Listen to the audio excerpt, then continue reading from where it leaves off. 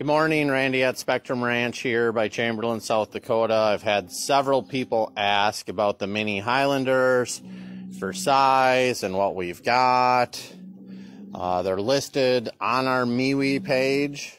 Um, I'll run through to show you what we've kind of got. Uh, this little mini dun cow.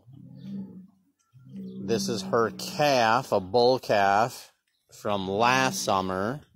She was put back in with a bull um, in August, so she could be bred back the same way.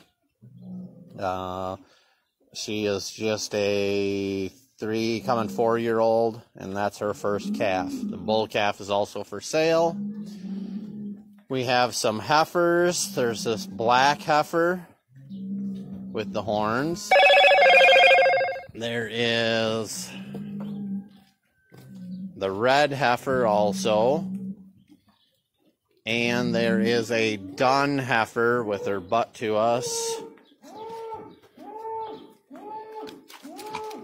Those are all uh, 2018 heifers.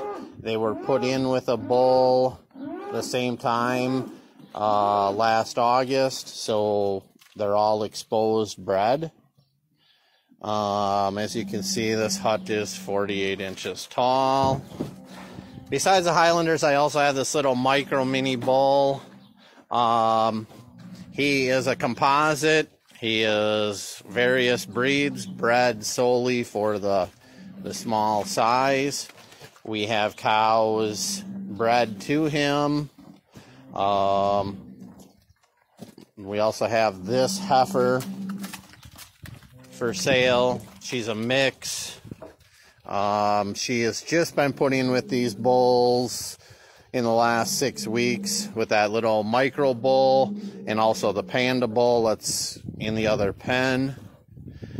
Um, they're all pretty calm, easygoing. They come in here every day for grain since I have them in a yard. Um, there's also this more standard size black Highlander cow.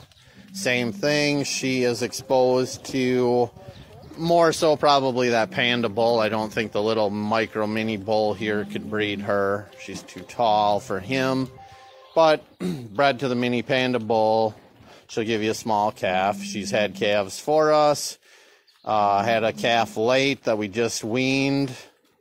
Um, so she's exposed bred also.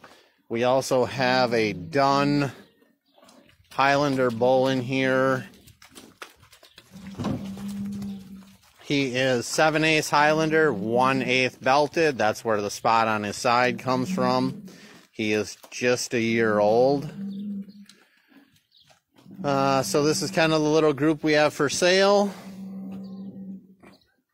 Message me if you uh, need more info or prices.